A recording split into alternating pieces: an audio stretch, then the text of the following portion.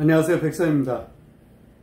제가 오늘은 전 법무부 차관을 지낸 김학일 씨 관상을 한번 살펴보겠습니다. 지금 그 뉴스에도 좀 많이 나오고 좀 재판 중에 계신 것으로 좀 알고 있습니다. 이 세상에 있는 사람 한 60억이 넘는 인구가 있어도 완벽한 관상은 없습니다. 항상 태어나서 죽을 때까지 그 희노애락 속에 좋은 점도 있고 나쁜 점도 있습니다. 그게 우리 인생입니다. 물론 풍파가 없으면 좋지만 그게 자신의 의지하고는 전혀 관계가 없죠. 그래서 완벽한 인생이 없다라는 것입니다. 제가 김학일 씨 관상을 지금부터 하나하나 한번 살펴보겠습니다. 제가 오늘은 무령에 대해서 한번 살펴보겠습니다. 이분이 저한테 와서 관상을 봐달라고 했으면 제가 이 내용에 대해서 똑같이 얘기를 했을 것입니다. 물론 지금 같이 이런 결과가 있는지 없는지 그것에 대해서는 제가 말씀을 못 드린다 해도 이것을 듣고 유추해 보면 어느 정도는 알 수 있을 것이라고 봅니다. 김학의 씨는 64세입니다. 전 법무부 차관입니다. 고위직에 계셨죠? 물론 법무부 차관은 한 6일 정도 역임한 것으로 알고 있습니다. 김학의 씨 사진하고 그 옆에 있는 게 곰입니다. 김학의 씨는 곰상입니다. 한번 이미지를 한번 살펴보십시오. 이마, 눈, 눈의 생김새, 안광이라든지 코, 입, 전체적인 분위기를 한번 살펴보십시오. 김학의 씨가 옆에 있는 곰을 닮았는지 안 닮았는지 여러분이 보시고 곰을 닮았다고 하면 여러분도 저와, 저와 같이 똑같이 이 김학의 씨 무령이 곰상이라고 느낀 것입니다. 물론 다르게 볼 수도 있습니다. 무령관상은 이렇게 김학의 씨가 어떤 동물, 곰상을 닮았는지, 호랑이상을 닮았는지, 코끼리상을 닮았는지, 뭐 용상을 닮았는지, 낙타를 닮았는지, 이렇게 동물하고 비유해서 그 운세, 운명을 감정하는 게 바로 무령관상입니다.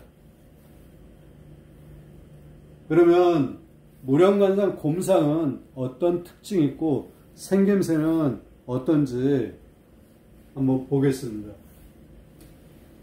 곰은 잡식성이죠. 그리고 굉장히 키도 크고 등치가 굉장히 좋습니다. 장대하죠. 그리고 굉장히 무서운 동물입니다. 그래서 무령서열이 굉장히 높습니다. 무령서열이라는 게 있습니다. 상품, 중품, 하품 이렇게 나눕니다. 상품에 속하게 되면 상류층에 살고 중품에 속하면 중류층, 하품은 하류 이렇게 나눠집니다. 이건 인간사와 마찬가지죠. 사람도 상류층에 속한 사람이 있고 중류, 하류층 이렇게 나눠지죠. 그래서 곰상은 장교나 군인, 장군, 장군 중에 이 곰상들이 굉장히 많습니다. 왜 그러냐면 이 곰이 몸이 장대하고 힘을 상징하기 때문에 그렇게 표현을 하는 것입니다. 그리고 굉장히 사납고 무섭죠. 그리고 부자에게서 많이 볼 수 있는 상이다. 세상이 굉장히 좋습니다. 곰상들이. 부자 중에 89은 다 체상이 좋습니다. 몸을 따라가야 되죠. 얼굴을. 그래서 체상이 굉장히 중요한 것입니다. 곰상의 생김새는 어떻게 생겼냐면 곰상은 등이 둥글고 등이 둥글다는 뜻입니다. 살집이 있다는 뜻이죠. 그리고 체격이 크며 체격이 보통 큽니다. 그리고 피부가 검은 편이나 곰상들은 좀 피부가 좀 약간 검, 거무칙칙합니다. 검습니다. 그렇지 않은 사람도 있다. 이렇게 김학일 씨와 같은 이런 피부를 갖고 있는 사람도 있습니다. 그리고 눈은 길면서 둥글고 이렇게 둥근 눈입니다. 이런 이런 눈이 아니죠. 이렇게 좀 둥근 눈입니다. 동자는 검고 크지만 이 눈, 동자가 검고 크다는 뜻입니다. 이게 맑은 빛이 없다라고 했습니다. 안광은 맑아야 되죠. 근데 곰상들의 특징이 이렇습니다. 그리고 코는 좀 큼직합니다. 이 곰의 코가 크죠. 여기서 봤을 때도. 그래서 코는 크고 입술은 두텁습니다. 이게 곰상의 특징입니다. 이렇게 생긴 사람이 곰상이라는 것입니다. 물론 입술은 두꺼운데 입술이 그냥 보통이어도 곰상입니다. 그래서 곰상 중에 상품, 중품, 하품으로 제가 나눈다고 그랬죠.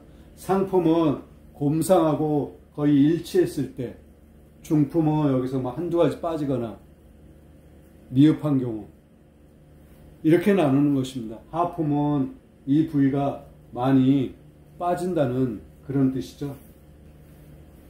상품을 타고나게 되면 아까 말씀드렸듯이 굉장히 사회적인 지위, 부가 남다릅니다. 하지만 곰상은 단점이 있습니다. 곰상은 욕심이 많습니다. 곰이 굉장히 욕심이 많죠. 그리고 잔깨는 많으나 지혜롭지 못하다고 했습니다. 사람은 좀 지혜로워야 되죠. 하지만 이 곰상이 단점이 지혜롭지 못한 점이 있습니다. 김학의 씨는 무령관상이 곰상입니다. 잘 타고난 상입니다. 하지만 이런 말이 있죠. 사주부려 관상, 관상부려 심상이라고 했습니다. 잘 타고났으면 그 마음 씀씨를 잘 쓰게 되면 한평생 부귀를 누리고 살아가는데 이 심상에 문제가 있으면 반드시 탈이 나게 되어 있습니다. 그래서 욕심을 내되 과한 욕심, 분에 넘치는 욕심, 그리고 바르지 못한 욕심을 내게 되면 반드시 탈이 나게 되어 있습니다. 오늘은 김학일 씨 관장에 대해서 살펴봤습니다. 감사합니다.